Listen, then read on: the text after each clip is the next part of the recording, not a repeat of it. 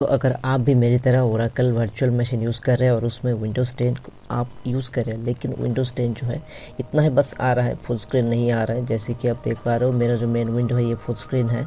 तो ये full screen क्यों नहीं आता? है तो आज इस वीडियो में मैं एक बहुत ही आसान सा तरीका दिखाने वाला हूँ। आप यकीन मानिए, मैं जो तरीका दिखाने वाला हूँ, आपने कभी भी किसी के पास ये जो तरीका है नहीं देखा होगा। तो इसके लिए इस वीडियो को आपको पूरा अंत तक देख लेना होगा। अगर कोई भी स्टेप मिस हो जाए तो हो सकता है जो आप ये प्रोसेस है कर ही ना पाओ और आपका जो सपना है ये, इसको फुल स्क्रीन करने का, वो अधूरा का अधूरा रह जाए। तो वीडियो को स्टार्ट करने से पहले आपके लिए ज़रूर सोचना। अगर आपने अभी तक मेरे चैनल को सब्सक्राइब नहीं किया है तो प्लीज़ सब्सक्राइब करिए यार सब्सक्राइब मुफ़्त होता है। और सब्सक्राइब करने के साथ साथ जो बेल आइकन आएगा उस कॉल पर प्रेस कर दीजिएगा ताकि ऐसे ही टेक्नोलॉजी रिलेटेड वीडियोज़ और ट्यूटोरियल रिलेटेड वीडियोज़ मैं अपना चैनल में लाता रहता तो आपको नोटिफिकेशन मिल जाएगा। तो सबसे पहले दोस्तों, आपको क्या करना पड़ेगा? गूगल क्रोम में चले जाना है। क्रोम में जाने के बाद आप देख सकते हो यहाँ पे guest additions for virtual box 6.1 मैंने लिखा हो लेकिन आपको क्या करना है? सबसे पहले आपको जानना है जो आपका जो वर्चुअल बॉक्स है, इसका वर्जन कौन सा है? तो हेल्प में जाइए। हेल्प में जाने के बाद आप अबाउट वर्चुअल बॉक्स में चले जाए मेरा 6.1 है। तो अगर आपका 6.1 नहीं है तो प्लीज़ मेरा सजेशन रहेगा कि आप उसको अपडेट कर लीजिए। 6.1 या लेटेस्ट वर्जन में अपडेट कर लीजिए। उसके हिसाब से आप गूगल में इसको सर्च करें guest additions for virtual box 6.1 मैंने लिखा है, आपका वर्जन अलग है तो यहाँ पे अलग डाल दीजिएगा। और उसके बाद यहाँ पे जो ऑप्शन आएगा, ये गेस्ट एडिशंस वाला, इसमें आपको चले जाना है। अब जैसे ही जाओगे पेज ओपन हो जाएगा, ठीक है? तो यहाँ पे आपका ऑप्शन दिया गया है। तो यहाँ पे बहुत सारा लिंक है, इस लिंक के ऊपर क्लिक करोगे तो ये मेन जो डाउनलोडिंग पेज है यहाँ पे आपको लेके चला जाएगा और यहाँ पे आप सारे वर्जन्स का डाउनलोड कर पाओगे। इसका जो डाउनलोडिंग लिंक है, नीचे डिस्क्रिप्शन में मैं दे दूँगा, आप वहाँ से चाहे तो डाउनलोड कर सकते हो। तो चलिए दोस्तों, इसको क्लोज कर देते क्लोज कर देने के बाद क्लोज कर देने के बाद मैं क्या करूँगा दिस पी में जाऊँगा मैं जहाँ पहले से ही डाउनलोड किया हुआ है तो ये देख सकते हो। और इसके ऊपर अभी राइट क्लिक करूँगा। राइट क्लिक करके ये जो माउंट वाला ऑप्शन है माउंट वाला ऑप्शन में क्लिक कर देंगे।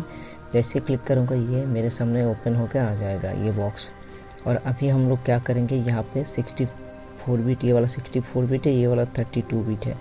तो दिस पीसी के ऊपर राइट क्लिक करेंगे प्रॉपर्टीज़ में जाएँगे। प्रॉपर्टीज़ में जाने के बाद यहाँ पे देख सकते हो 32 बीट यानी कि सिक्स बेस्ट प्रोसेसर है। तो यहाँ पे हम लोग क्या करेंगे, इसको सिलेक्ट करेंगे। सिलेक्ट करने के बाद इसको इंस्टॉल करेंगे। थोड़ा सा टाइम लगेगा, आपको पेशेंट लेकर वेट करना है। ठीक है नेक्स्ट नेक्स्ट करके इंस्टॉल कर लीजिए। और एक बात दोस्तों, अगर आपको कुछ भी ख़रीदना हो तो आप मेरे नीचे दिए गए अमेजन लिंक से खरीदिएगा तो मेरे चैनल को थोड़ा हेल्प मिल जाएगा। आप देख सकते हो दोस्तों, ये जैसे इंस्टॉल हो जाएगा ऑटोमेटिकली ये जो स्क्रीन है, ये फुल स्क्रीन हो जाएगा। आप देख सकते हो, थोड़ा सा वेट करो, आपके केसेस में ऐसा ही ऐसा ही होगा। तो यहाँ पे एक पॉपअप लिया है। यहाँ पे रिबूट मांग रहे हैं दोस्तों, मैं रिबूट नहीं करूँगा। ये I want manual reboot later कर दूँगा, इसको फिनिश कर दूँगा। अभी दोस्तों यहाँ पे देखिए, अभी ये फुल स्क्रीन नहीं हुआ है। अभी तो चलिए दोस्तों रिस्टार्ट करके देखते हैं।